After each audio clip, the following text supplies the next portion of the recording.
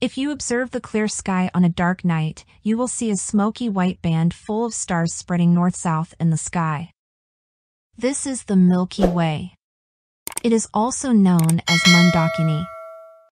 A group of innumerable stars and their planetary systems are together known as a galaxy. The Milky Way is the galaxy in which our solar system is located.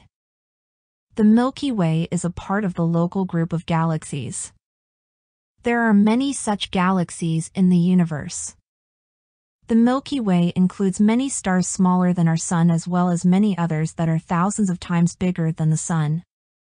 It also includes many other celestial bodies such as clusters of stars, nebulae, clouds of gases, clouds of dust, dead stars, newly born stars, etc. The galaxy that is closest to our Milky Way is called Andromeda. The universe includes innumerable galaxies, the space between them and also energy. The scientist Edwin Hubble showed that there exist many galaxies beyond our Milky Way. In 1990, NASA, the American Space Agency launched the Hubble telescope in the orbit of the Earth. The Hubble telescope has made it easier to look for stars, to take photographs and to obtain spectrums. Stars. The thousands of twinkling stars that we observe in the clear night sky are part of our Milky Way. Some of the stars that we see are bright whereas others are faint. Stars radiating different colors such as blue, white, yellow, and reddish can be seen in the sky. We also see stars with varying brightness. The birthplace of stars are the huge nebulae made of dust particles and gases. Generally, the surface temperature of stars ranges from 3,500 degrees Celsius to 50,000 degrees Celsius.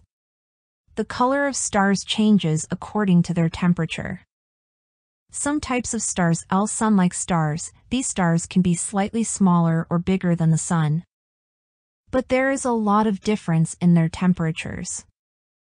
Examples, stars like Sirius, Alpha Centauri. Red giants, the temperature of these stars ranges between 3000 degrees Celsius and 4000 degrees Celsius. But their luminance can be 100 times that of the Sun. Their diameter is 10 to 100 times that of the Sun and they are red in color. Supernova, these are even brighter and larger than the red giant stars. Their temperature is between 3000 degrees Celsius to 4000 degrees Celsius, but their diameter can be more than 100 times greater than that of the Sun. Binary or twin stars, more than half of the stars in sky are binary stars. They consist of two stars that revolve around each other. At times, three or four stars that revolve around each other have also been located. Variable stars, the luminance and shape of these stars is not stable. They are constantly contracting or expanding. When a star expands, it emits less energy and at such times its brightness decreases. As against this, when a star contracts, its surface temperature increases and the star emits greater energy and appears brighter. For example, Polaris. The solar system consists of the Sun, the planets, asteroids, comets, and meteors.